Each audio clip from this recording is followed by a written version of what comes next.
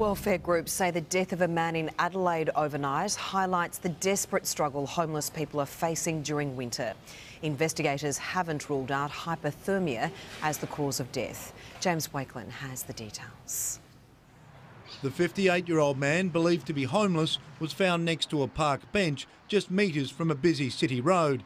His death highlighting an often forgotten problem. Look, I think this tragic death perhaps does serve as a salutary reminder to us as a community that homeless people, at risk people, are people too.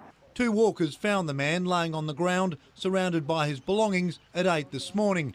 Temperatures overnight dropped to 5 degrees.